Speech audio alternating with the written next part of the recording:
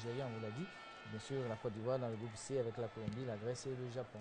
Le dégagement de Beau. Récupération milieu de terrain. Les Ivoiriens qui contrôlent pour l'instant tir.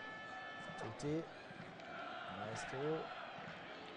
Maestro hein, qui quitte euh, Sport, hein, son équipe. Oui, c'est officiel, il a son départ. On ne connaît pas encore le club qui va le recevoir. Maestro, euh, est l'un des vétérans hein, de cette équipe ivoirienne, mais il est toujours bon pour le service. Au départ, milieu défensif, et bien maintenant, il a retrouvé sa place hein, euh, en défense centrale, un poste qu'il a occupé à, ses débuts à l'académie Imosifcom. Heureusement que Toté s'est ressaisi hein, parce qu'il a encore glissé. Et il a perdu le ballon, mais comme c'est un guerrier, il s'est battu là, pour euh, gêner l'attaque la, la, euh, adverse.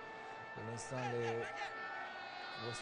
C'est dangereux cette passe en retrait et quelle belle sortie, malheureusement le premier but certainement.